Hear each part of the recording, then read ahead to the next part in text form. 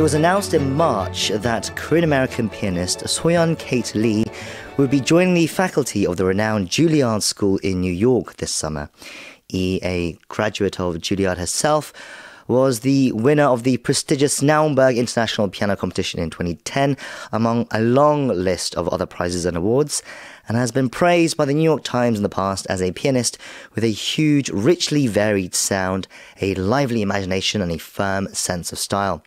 She joins us via video this week for Touch Base in Seoul from Cincinnati. Ms. E, welcome to the show. Thank you so much for having me. It's great to be here. As I said in the introduction, you'll be joining the Juilliard faculty in uh, July this year, returning to your alma mater. First, congratulations. There are reports saying that you are, in fact, the first woman of Asian descent to join the piano faculty. How excited were you when you found out that you had got the job? Um, I think the overriding feeling was that of gratitude. Um, I spent eight of my formative years at Juilliard, and it is a place that has shaped me into the artist, pianist, teacher that I am today. And to be the first Asian female to join the college piano faculty also, of course, holds special meaning um, because as you know, there are so many uh, successful and brilliant Asian musicians today. And I hope that this is just the beginning of many more to join. Okay, so tell us about how you began your journey in music. I understand that you first learned in Korea before you emigrated to the US uh, when you were still young. Mm-hmm. Um, you know, I had a an atypical beginning, I would say. Um, I, in fact, never owned an instrument until the end of my Juilliard studies. And my parents, um, at some point, bought an upright because I think they felt kind of bad for me that I would come home and wouldn't have a decent instrument to practice on. Um, so, long story short, I you know, many people view uh, classical musicians as, you know, these really motivated kids who start very young, practice hours and hours, and are super focused um, on that goal from a very early age. And I was certainly not one of them. I had a very normal childhood. I barely practiced, in fact. Um, and I was encouraged to just, you know, be a kid. And it was really when I came to the U.S. because I followed my dad um, when he was finishing his graduate studies that I found myself with absolutely no friends um, in a foreign country, did not speak English.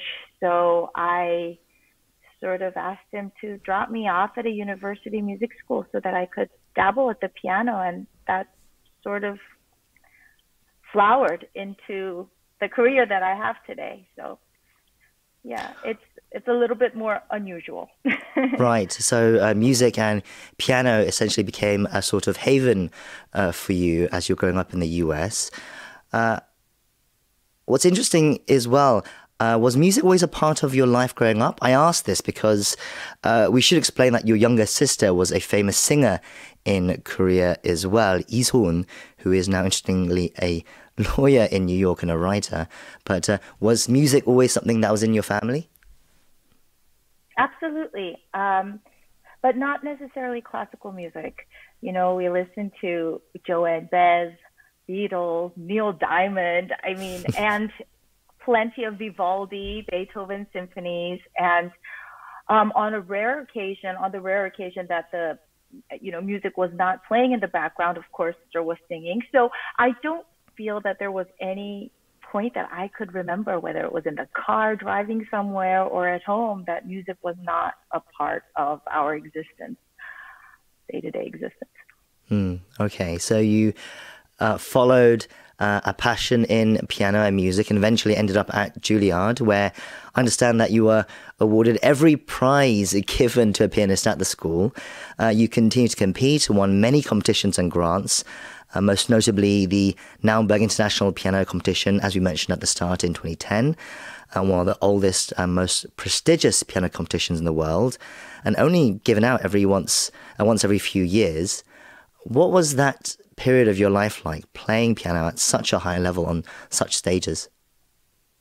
Um, well, it was difficult. It was um, emotionally, psychologically very challenging.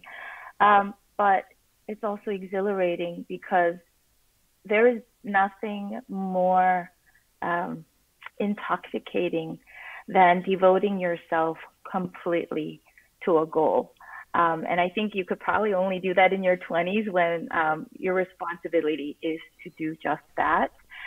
So, you know, it's an opportunity, regardless of outcome, really, of these competitions, of finding more about yourself and discovering the unexplored parts of you know who you are facing your self doubt and um, overcoming them and so it was a powerful time in my life not necessarily just the successful ones but just as meaningful were the ones where i put everything in and it didn't go well you know and i learned so much from those experiences too Right. So obviously you won some amazing prizes, uh, but you're saying you learned from uh, perhaps the prizes you didn't win as well.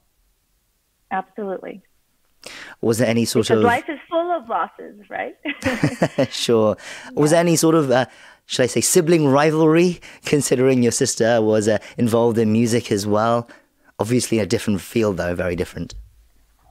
No, not at all, actually. And I am so grateful to, well, of course, my sister because she's my number one fan. Um, but I'm really grateful for my parents uh, because because of all the attention she was getting uh, in Korea. You know, I would visit and for many many years, and in fact until just recently when I I, I started getting in the news a little bit with Juilliard, I was really known as So-eun sister, Sony Onni, um, and that never bothered me. And I now when I look back, I think the reason that it didn't was because my parents made certain that they treated me equally, um, that attention wasn't given based on outside success on my sister. And I they now in retrospect, now that I'm a mom, I feel like they they handled this with expertise um, that I didn't even realize you know, um, that it could have been very dangerous for me, for, for somebody to always be in the shadow, you know, and I never felt that. So. Well, it sounds like you had a wonderful uh, family and a wonderful upbringing as well. Uh, you continued to perform in the US and around the world, but then you also began teaching. You are currently the Associate Professor of Music in Piano at the Cincinnati College Conservatory of Music. In fact, you received the University of Cincinnati Mrs. A.B. Dolly Cohen Award for Excellence in Teaching just last year. How was that transition into teaching uh, for you as well? Um, actually, it distilled so many things that you know as a musician you rely a lot when you're younger on your intuition what people call talent. And talent and hard work that's wonderful. But in teaching you can't just assume somebody's going to be talented a or speak the same language of what is what is intuition for you.